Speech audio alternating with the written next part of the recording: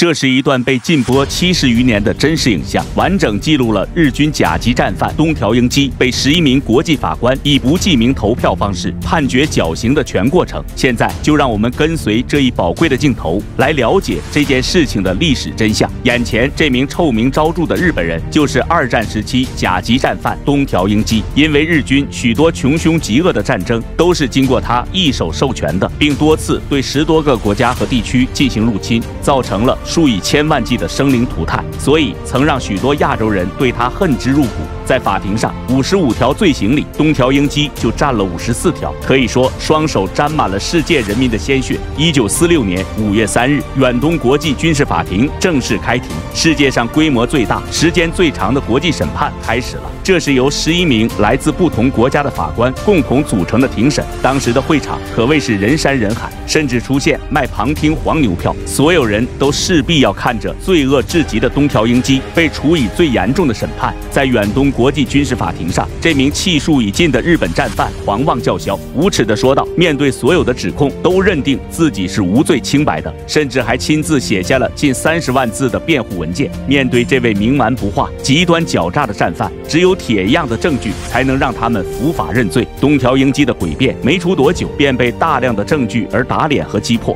十一名国际法官商议过后，光是起草判决书就长达一千二百一十二页，并在开头有这样一句话。侵略是人类最大的罪行，是一切战争罪行的总和与根源。最终决定对东条英机实施绞刑，还有同样罪行滔天的松井石根、土肥原贤二等七名战犯，另有一名战犯被判处有期徒刑。两名战犯在判决前病亡。一九四八年十二月二十三号，处刑日，东条英机脸色苍白，像风中的白纸一样痉挛着。真正站在绞刑台上的他，辩护时的诡计多端荡然无存。在赴死簿上签字的东条英机，双手不住的颤抖，名字也写得歪七扭八，被套上。头套后，甚至得需要美国大兵在一旁搀扶，才能站稳腿脚。武士道精神荡然无存。待调整好工具之后，一声令下，东条英机被执行了绞刑，结束了他罪恶的一生。这一段被禁播七十余年的真实影像，详细记载了日本天皇发起投降的全过程。现在就让我们跟随这宝贵的画面，一起来了解此次事件的历史真相。上午八时五十分许，美军代表麦克阿瑟乘坐布坎南号驱逐舰从横。兵赶来，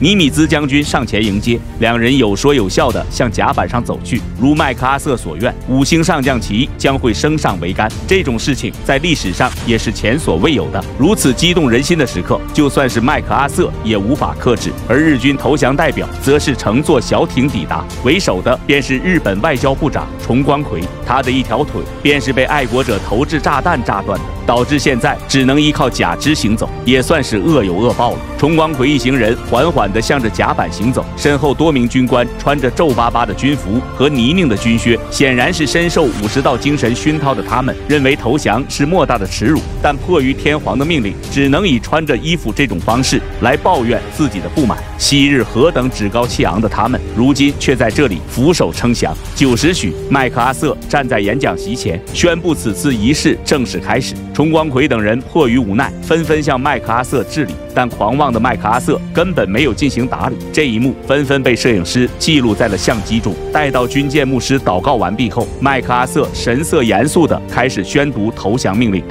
We are gathered here, representatives of the major warring powers, to conclude a solemn agreement whereby peace may be restored. 随后便是日军代表一一进行投降协议的签署。冲光葵一瘸一拐地走到桌前，看着满桌的停战协议，一面放置好他的帽子，一面又把钢笔从口袋里掏出。但面对从未见过的投降书，一时间不知道在哪里签字。在参谋长的指导下，冲光葵终于在投降书上签下了自己的姓名。随后是日军梅津美治郎。此时的他看着各项条约，日军需要完全放下手中的武器，并对联合国后续发布的所有。命令都给予执行，心中有怒却不敢言的梅金，甚至都没有入座，仿佛想保持着他那最后一丝属于军人的威严，草草就俯身签下姓名。日方代表全部签署完协议之后，麦克阿瑟接着宣布，同盟国最高统帅现在代表各交战国签字，随后便让温莱特少将和帕西瓦尔中将一起陪同前去签字。在麦克阿瑟签字时，共使用了六支钢笔。第一支和第二支分别赠送给了身边的温莱特和帕西瓦尔将军，因为两人都是刚从日军战俘营中释放出来的，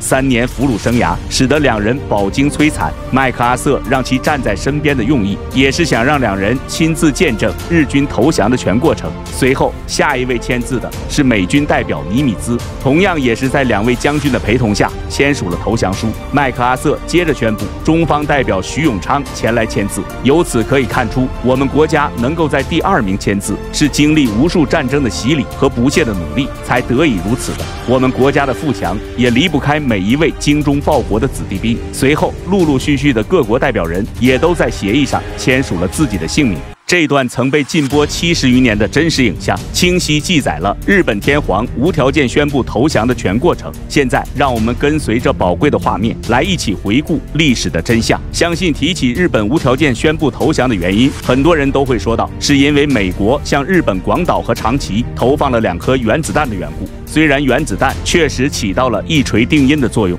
但绝非是日本投降最本质的原因，最多是起到了加速的作用。关键因素还在于本是同盟国的苏联解除了协议，被美军拉入了对日作战计划当中去。这样一来，直接导致日本高层计划全面崩盘。苏联更是乘胜追击，派出了近两百余万人的兵力前往对东北驻扎的日军进行毁灭性的打击。苏联和我国的统一战线，注定了日本已经没有一。点赢的希望，毕竟但凡还有一丝赢的机会，日本都绝对不会投降。所以，真正的原因应当是几大盟国，包括中国、美国和最后加入进来的苏联共同努力下的结果。还有一个因素便是原子弹瞬间使得日本人口锐减，杀死了将近几十万的平民百姓，导致日本能够活动的区域越来越小，生产能力得不到有效的供给，石油、粮食、武器等战略性资源前线更是根本得不到供应，就导致如果再这样打下去，就会面临弹尽粮绝的困境。日本天皇为了得以将本国的制度延续下去，迫不得已只好选择无条件宣布投降，并派遣了代表团来签署停战协。协议为数几十年的战争画上了句号，象征着和平的白鸽终于可以在蓝天自由翱翔。我们国家的进步也是突飞猛进，早已摆脱那个任人宰割的年代，成为了一头东方雄狮。好了，本期视频到此结束，点个关注，我们下期再见。